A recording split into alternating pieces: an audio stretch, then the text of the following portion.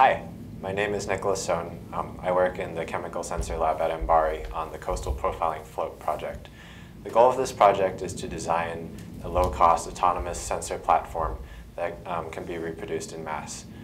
The goal, um, with enough floats in the ocean, the, the, um, this float array will provide um, oceanographic data with enough temporal and spatial resolution to start to understand coastal climate change.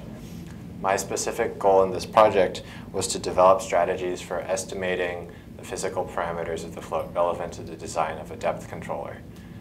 Um, my primary task for this summer was to develop a laboratory apparatus that could be used to determine the engine efficiency, the buoyancy engine efficiency of the float um, under pressure.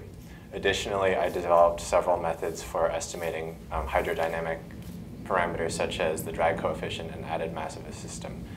Um, these contributions have been very useful in terms of increasing our understanding of the hydrodynamic model of the system and hopefully will be useful for eventually designing a depth controller.